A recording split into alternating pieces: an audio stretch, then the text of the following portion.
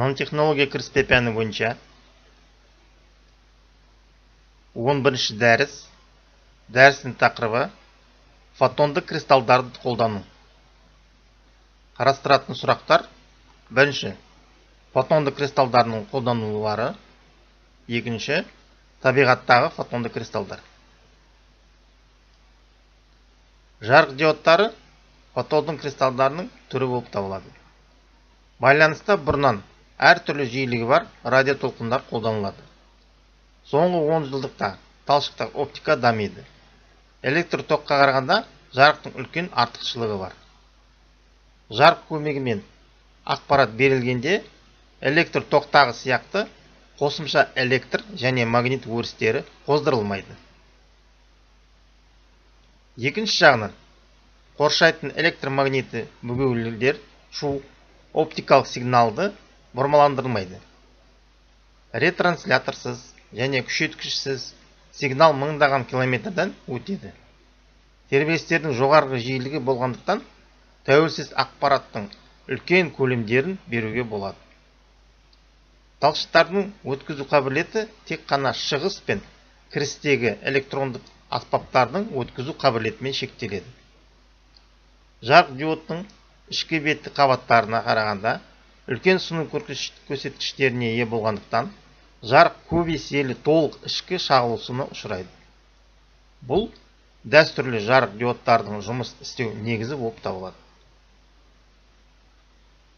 Фотонды кристалдарда жарық диоды көмегімен энергияның берілуі басқа принципте негізделген. Фотонды кристалдың бетті қабаттарында тыйым салынған аумағы болғандықтан жарық толқындары бетті қабаттарда таралмайды. Фотонды кристалдың қуыстықтары оны қоспалық жартылай өткізгішке ұқсастырады. Бұл жағдай оқшалауғыш орамасы бар жартылай өткізгіш бойымен электр токтың таралуына ұқсас. Классикалық жарық диодты тікбұрышта майыстыру үшін қисықтық радиусы шамамен 10 толқын ұзындығын құрайды. Ал фотонды кристалл негізіндегі жарық диодты жарты, жарты толқындық радиуста майыстыруға болады микроэлектроникада бұл жағдай өте маңызды. Себебі микросхемаларда жарық диодтары көп еселі майыстырылады. Қолданылатын талшық жарық диодтары толқын ұзықтарынан тек шағын диапазонында мөлдір болады. Ал фотонды кристалдағы жиіліктердің кең диапазонның болуы тәуелсіз ақпарат ағымының ұлғаюына әкеледі. Фотонды кристалдың қолдануы кабельдегі сигналдарды әртүрлі жолмен бағыттап керек жиілікті басқаруларынан ажыратуға болады. Фотондық өткізгіштерде жылу шығарылмайды. Жылудың шығаруы интегралды схемалардың тығыздығы мен ырғақ жиіліктік арттыруына кедергі болады. Жоғары жиілікті электронды қондырғыларына сипаты болатын. Өзара индукция екінші маңызды мәселе болып табылады. Жарық ағымдарында мұндай мәселе жоқ. Алынған фотон кристалдарда ақпараттың жіберу тиімділігі 95 пайыз құрайды.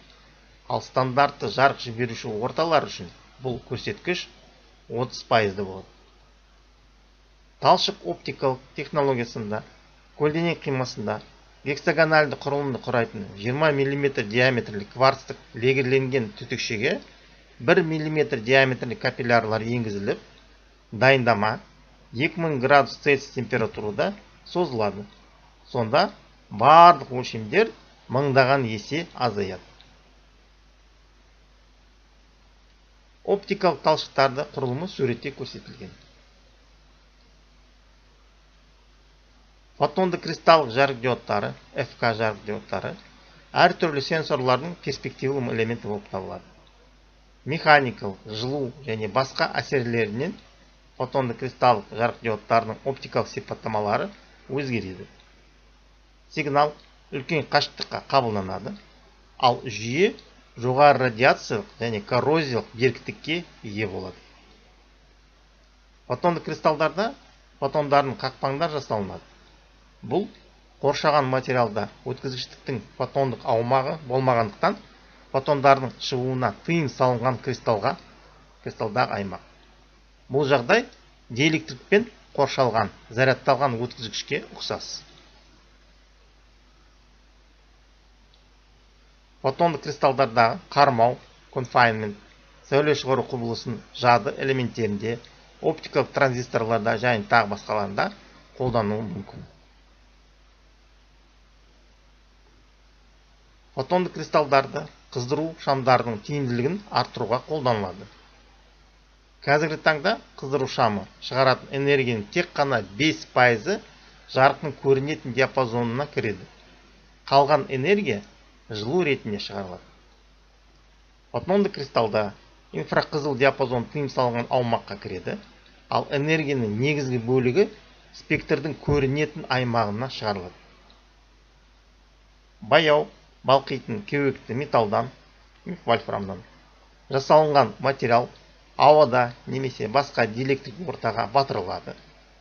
Бұл 3D фотондық кристалдың периоды 4,2 микрометр ал құрылымның элементтер қалыңдығы 1,2 микрометр. 8-20 микрометр диапазондағы тыйым салынған кең аумағы қыздыру шамның тиімділігін 60 пайызға дейін арттыруға мүмкіндік береді. Тыйым салынған аумақ фотондық аумақтың орналасуы мен енін өзгертіп жарық ағындарды басқаруға фотондық жартылай өткізгіштер қолдануы мүмкін. Қоздырылған атомдар мен жарықтың шығаруы кездейсоқ процесс болатындықтан эмиссия уақыты бақылауға болмайды. Мұнда тек оның орташа мәні туралы айтуға болады. Фотондық кристалда жарықтың эмиссиясын баяулатуға немесе үдетуге болады. 2004 жылы жасанды инверттелген опал негізінде лазер жасалынды. 240-650 нанометр қашықтықтарда орналасқан қу сфераларға 4,5 нанометр диаметрлі кадмий селениді жартылай өткізгіштігінің коллоидты бөлшектері енгізілді. Лазер импульсы көмегімен бұл жасанды атомдар қоздырылған күйіне ауыстырылды және де эмиссия уақыты бақылауға мүмкіндік болды. Жартылай өткізгіштік лазерлердің модификациялау мәселесі шешілді. Көп каскадты жартылай өткізгіштік лазер нанометрлік қабаттарының құрылған 1D құрылымы болып табылады. Және сәулеленуді барлық бағыттарға қабаттар жазықтарына параллель шығарады. Электронды сәулелік литографиялық қондырғы көмегімен жартылай өткізгіш қабаттарына фотонды кристалдың гексагональды құрылымы қондырылады. Соның нәтижесінде лазер сәулеленуді жартылай өткізгіш қабаттарына перпендикуляр шығарады. Және оған қосымша фокустау құрылғылар керегі жоқ. Бұл оның қолдану аймағын кеңейтеді. Айтарлықтай фотонды кристалдағы жаңа лазердің өлшемдері шамамен 50 микрометр құрайды. Табиғаттағы фотонды кристалдар теңіз тышқаны женус афродита деп аталатын тереңдегі теңіз құрттың терісінен 100 пайыз тиімділікпен спектрдің барлық көрінетін аймақта жарық шағылысады. Жануарлардың қабықшақтары мен қауырсындағы түрлі түсті құбылыстар олардың 2D фотонды кристалдық периодты құрылымына байланысты.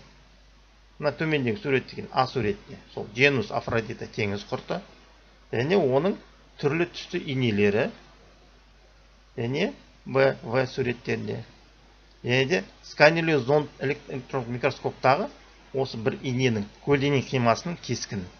Яғни бұл табиғаттың табиғи фотондық кристалл. Электрондық микроскоп көмегімен тропик көбелектердің еркектер қанаттары зерттелініп олардың субмикрондық саңылаулары бар тор тәрізді реттелген құрылымы айқындалды. Осы құрылым жарықтың жұтылуы мен қанаттарының қызуын төмендетеді.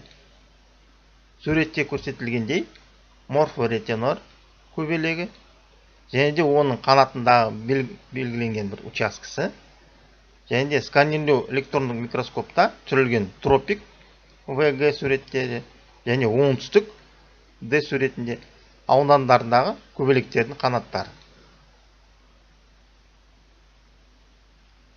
Суреттен көрінетіндей солтүстік аудандардағы көбелектерде қанаттары қызыл қоңыр түсті болады мұндай фотонды кристалл құрылымының беттіктің жылулық тепе теңдігіне әсер әсерін ғарыш пен шөл далада жұмыс істеуге арналған қорғайтын скафандрлерде қолдануға болады. Әр түсті материал маталар да осындай принципте жасалынады. Опал жылтыр тас кванттық оптикалық технологияларда қолданылатын асыл тастарға жатады. 1960 жылы толқын ұзындықтарының оптикалық диапазонында бірінші лазерді рубин лағыл тас кристаллының негізінде жасалынған. Кристалдық кристалдық александрит негізінде қайта құрылатын қатты денелік лазерлер алынды. Қуатты лазерлер итрий алюминий гранаттар кристалдарында жасалынды. Асыл тастардың қазіргі техникада қолдануы зор. Келесі слайдта. Ұсынылатын әдебиеттер тізімі. Келесі слайдта студенттерге қойылатын сұрақтар. Бірінші электр токқа қарағанда жарық көмегімен ақпарат берілгенде қандай артықшылық бар? Екінші сұрақ дәстүрлі жарық диодтардың жұмыс істеу негізі қандай? Үшінші талшық оптикалық технологиясымен жарық талшықтарын алу. Төртінші сұрақ. Қосымша фокустау жүйесін жасамау үшін жартылай өткізгіш лазері қалай модификацияланады? Бесінші. Неліктен ғарышкерлерде арналған сыртқы киімдері қызыл сары түсті болады? Тыңдағандарыңызға рахмет.